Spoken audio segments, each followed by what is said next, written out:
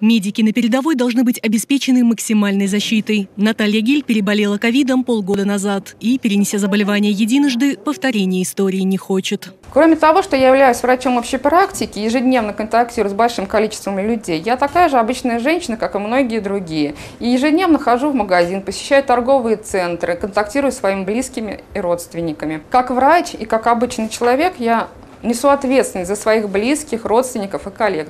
Для этого я вакцинируюсь, чтобы в дальнейшем снизить риск заболевания коронавирусной инфекцией.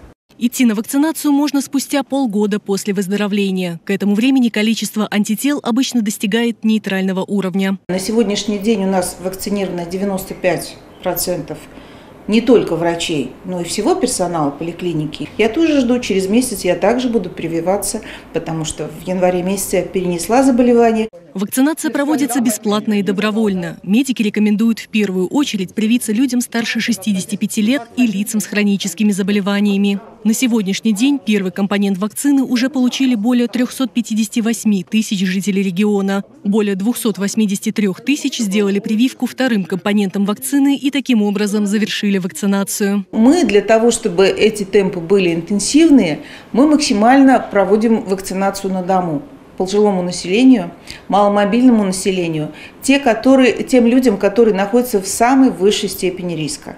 Поэтому сейчас у нас привитость по маломобильным гражданам около 80%.